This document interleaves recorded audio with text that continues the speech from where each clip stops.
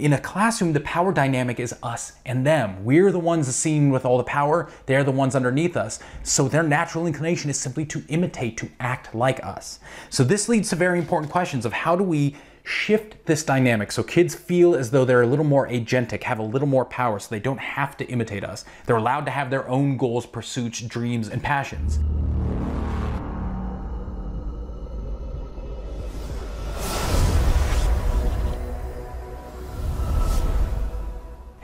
Hello, everybody, and welcome to this week's From Theory to Practice, where I take a look at the research so you don't have to. Now, the article I've selected this week is Socioeconomic Status and Self Other Processing by Farwa and Obhi. Now, to understand this paper, we have to recognize that human beings are always imitating one another. We're mirroring one another. So, for instance, right now, when I'm moving my hand like this, if I could take a picture of your brain, a lot of you are covertly imitating this movement. In your brain, you're imagining yourself moving your hand. Now, this ability to mirror, that's where we think things like empathy and sympathy come from. We can read each other's thoughts and actions and intentions because we're imitating them all the time. Now, interestingly, in nature, we see an asymmetry in the way different animals imitate one another. And what I mean is this it all boils down to power dynamics. Animals with a high status, like the leaders of the pack, tend to imitate less. They kind of just do their thing. Whereas animals beneath them, those in a lower power status in this dynamic, they imitate more. They tend to focus more on that leader and try and do more of what that leader does. Now, in human beings, interestingly, this all kind of comes back on the idea of goal pursuit. So, individuals who have a lot of power, who are in a high status position, tend to be highly goal active. They kind of set goals and they go for them. And these people are rarely distracted by anything. They're so focused on their goal that nothing really throws them off their track. Whereas individuals in a lower status tend to be highly distractible. They're so focused on imitating and mirroring other things that their own personal goals kind of take a back seat. So the way we always say it is people in a high status act, whereas people in a lower status act like people in a higher status. Their own personal goals go by the wayside and they just start imitating those other people. So enter this paper. Okay, what this paper says is, will we find the same kind of asymmetry, this power dynamic, when we use SES, social economic status, as kind of our measure. Do students from a high SES, are they more goal focused, while students coming in from a low SES, are they more distractible and, and susceptible to irrelevant distractions?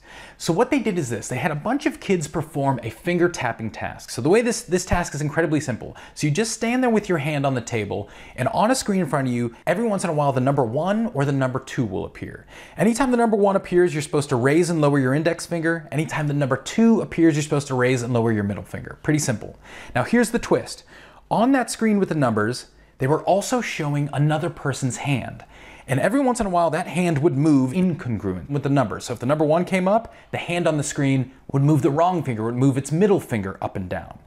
And what they were taking a look at is this idea of an interference effect. So if you're highly goal focused, when the number and the hand on the screen don't match, it really shouldn't matter. Why? Because you've got your goal, move my index finger, nothing should get in the way. Whereas if you're distractible, susceptible to people around you, then you should see high interference. Even though that one comes up, if the hand on the screen moves the middle finger, you're more likely to imitate, to mirror that, and do the wrong movement and have to recorrect that later. So this kind of interference effect, the impact of the incongruence between the number and the hand on the screen and your own actions becomes a measure of your own self-other processing. Are you more focused on yourself and your own goals or others and trying to imitate what's going on out there? So a bunch of kids do this task and here's what they find. Kids from a high SES background have almost no interference effect. When there's a difference between the number and the hand on the screen, these students only lose about 9 milliseconds in their reaction time, which means they're highly internally focused. They're goal oriented. It doesn't matter if the world's doing something else. I got my goal, I'm doing it. Whereas kids from a low SES background, that interference effect jumped up to 42 milliseconds, almost five times longer. That means they were largely externally focused, simply trying to imitate the world around them.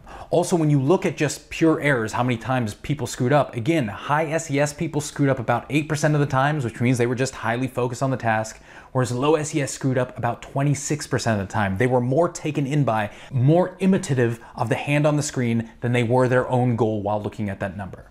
So what does this mean for us as teachers? Well, I can kind of think of three things where this kind of resonates back with us. The first has to do with assignments. Now, a lot of the times as teachers, we kind of give kids freedom. We say, look, I've taught you all this stuff. Now I want you to go do a project on your own. Pick a topic you're interested in, do anything you want. Don't do what I told you, go do your own thing. And what happens is 90% of the time the kids come back with exactly what we taught them. We give them incredible freedom, and all they do is imitate exactly what we gave them.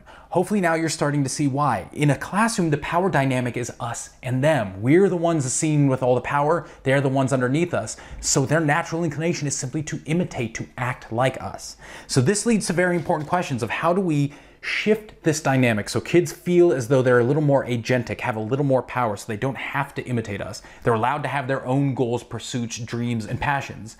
And what kind of tools are we using that almost lead this? Like I always think anytime you give an exemplar essay, like here's the example of a good essay, doesn't matter how many times you tell them, do not write this essay. This is just an example. I want you to take the ideas and go do your own most of them will just come back and do that. So how often are we just giving them tools, which is forcing that dynamic and leading them to simply imitate, to say, well, if that's what the teacher likes, then that's exactly what I'm gonna do. So how are we playing with this power dynamic with our students? But more importantly, and this is kind of my second idea, is how do we decrease power dynamics safety becomes everything. People start to change power dynamics when they feel safe, when they feel comfortable, when they feel relaxed, when they feel heard around other people. So, one of our key things with students then has to be how do we get them to feel safe and relaxed around us? And research on this kind of boils down to three things. The students have to feel like they have a voice. They have to feel like they have a say and they have to feel like they have an impact. So, a voice, they have to feel like when they speak, they're heard. A say, they have to feel like they have agency, choices in the things they do. And an impact, when they come up with an idea, that idea has to change the dynamics of the world around them.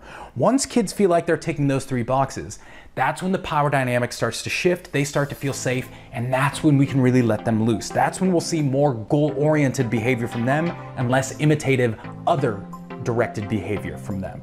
So thank you guys so much for watching. This was another great one. I hope you all learned a lot. Again, if you like what you heard, if you could give me a thumbs up and subscribe below, that'll make sure more people can hear this as well. I hope you're all well, and I will talk to you all soon. Thanks, guys.